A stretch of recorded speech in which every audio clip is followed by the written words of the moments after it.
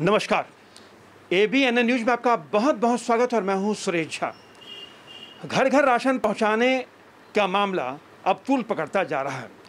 हालाँकि केंद्र की तरफ़ से अरविंद केजरीवाल को के इस योजना पर ब्रेक लगा दी गई है, लेकिन अरविंद केजरीवाल है कि उन्होंने जिद पकड़ ली है। अब उनकी तरफ़ से दिल्ली हाईकोर्ट में याचिका दाखिल की गई है। हालाँकि याचिका जो है, जनहित याचिका है। जिसमें कहा गया कि आखिर घर राशन पहुँचाने में केंद्र सरकार को दिक्कत क्या? आखिर केंद्र सरकार क्यों नहीं चाहती कि जनता को घर बैठे राशन मिले? इसी पर बीजेपी ने भी अब अरविंद केजरीवाल घेरना शुरू कर दिया भाजपा नेताओं का कहना है, खासकर रविशंकर प्रसाद का, कि जब दिल्ली के अंदर जो कोरोना की जो महामारी थी, उस समय जो हालात थे, उससे निपटने के लिए अरविंद केजरीवाल ने कोई भी इंतज़ाम नहीं किया। ना तो लोगों को घर घर ऑक्सीजन पहुँचाया, ना ही दवाई पहुंचाई, और आखिर राशन घर घर पहुँचाने की वो जिद क्यों कर रहे हैं? तो आज इसी विषय पर हमारे साथ बातचीत करने के लिए मौजूद है कानून के जानकार हैं अमित कुमार मिश्रा। इनसे बातचीत करते हैं। मिश्रा जी आपका बहुत बहुत स्वागत है हमारे चैनल में। मिश्रा जी बड़ा एक टॉपिक ऐसा खड़ा हो गया है घर का राशन पहुँचाने का मामला। केंद्र सरकार ने कहा कि हम आपको इसकी परमिशन नहीं देंगे। लेकिन अरविंद केजरीवाल ने जिद पकड़ रखी कि नहीं हम इसको लागू करवा कर रहेंगे। अब सवाल ये खड़ा हो गया है कि जब कोरोना काल के दौरान जब इतनी महामारी थी दिल्ली के अंदर आपने देखा होगा कैसी कैसी हालत थी बड़ी बस से बदतर हालत थी।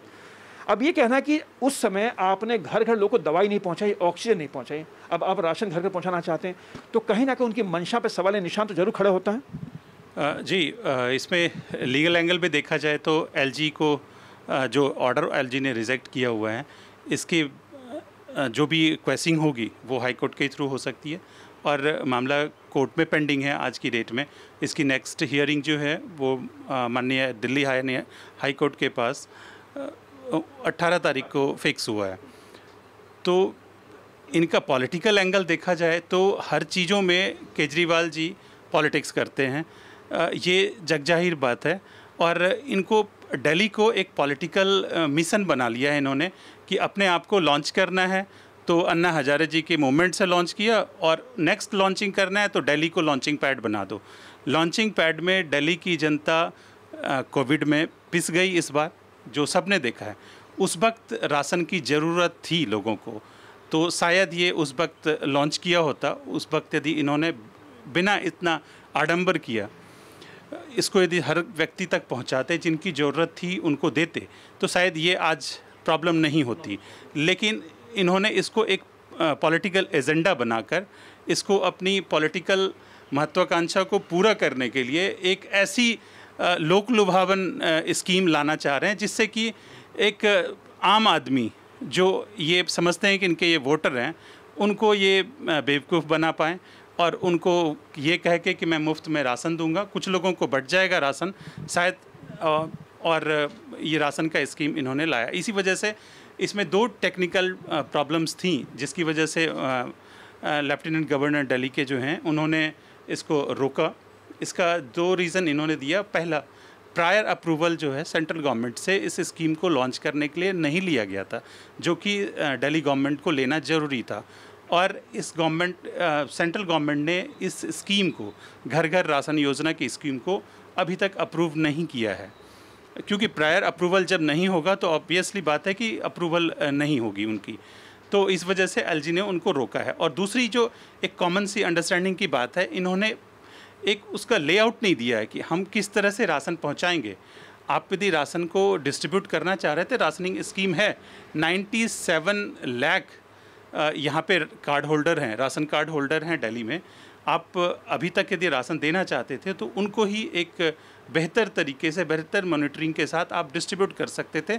शायद वो 70 परसेंट पॉपुलेशन तक पहुँच जाती, क्योंकि दिल्ली की बहुत ज़्यादा पॉपुलेशन नहीं है 70 लाख यदि ऑलरेडी कार्ड होल्डर्स हैं तो रिमेनिंग बहुत कम बच जाते हैं जिनको कि राशन की ज़रूरत होगी। और जिनको ज़रूरत थी, आपने जब लोग पलायन कर रहे थे दिल्ली से, पहली कोविड में भी हमने देखा मास लेवल पे लोग पलायन कर गए दिल्ली से और दिल्ली गवर्नमेंट ने उनको कोई ख़ास सुविधा नहीं दी।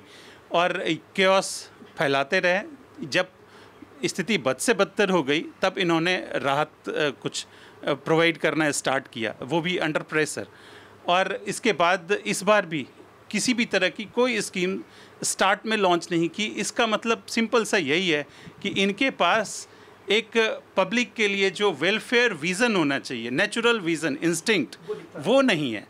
और इनको पॉलिटिकल इंस्टिंक्ट आ जाता है।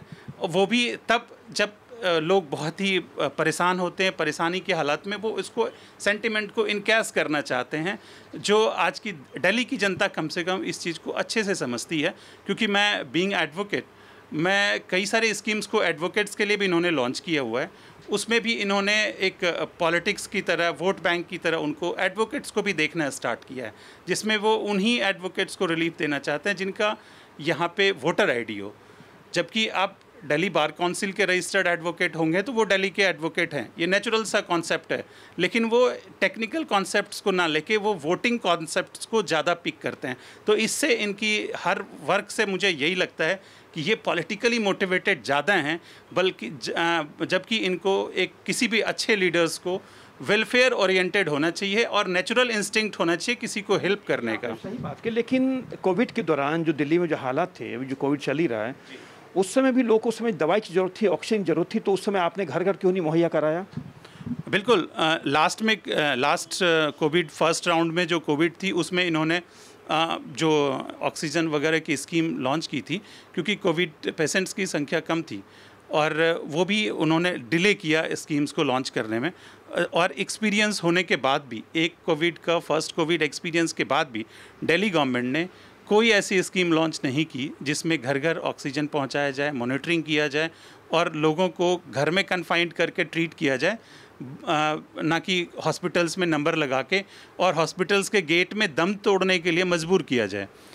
तो ये बहुत ही दिल्ली की पब्लिक को खास करके दिल्ली की मैं कहूँगा इंडिया का, क्योंकि पूरे इंडिया दिल्ली से इन्फ्लुएंस रहती है और इनकी मोटिव्स को समझना चाहिए। और कहीं ना कहीं मैं बीइंग ए एडवोकेट मैं उनसे ये अपील भी करना चाहूँगा कि वो वेलफेयरनेस को काइंडनेस को अपने पॉलिटिक्स में लाएँ, ना कि पॉलिटिक्स को हावी होने दें।